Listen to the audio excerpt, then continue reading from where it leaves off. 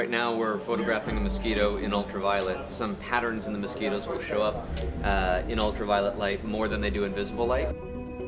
So I don't know if anybody's used it photographically before. It's intended for forensic investigations. And so even like fabrics and stuff, you'll see all of the lint and all sorts of various things on my clothing because they fluoresce in different ways. Certain species, their bodies will glow. In other species, some of their markings and their patterns will glow. Kind of mysterious when you see them in this different light. It's just a freshly pinned specimen, but a piece of uh, dust or fibers has landed on top of it and it's fluorescing on top of the specimen. We can see a very glowy fiber on the top of this guy.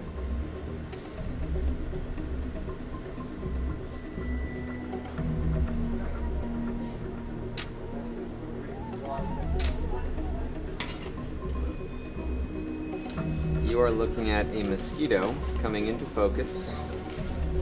The blues that you're seeing are directly caused by the ultraviolet light. And we take a look back here, it's fluorescing green. So different parts of the mosquito are fluorescing under different colors, uh, creating a really interesting color palette to the image.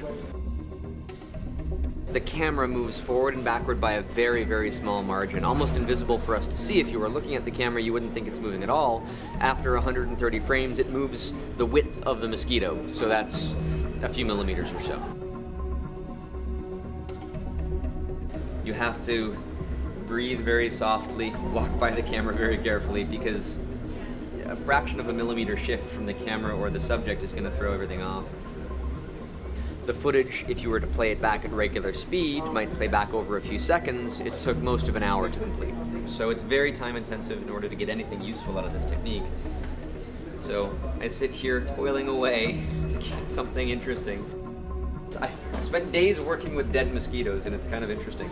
I never thought it would be fun, but uh, these creatures always have something more to reveal.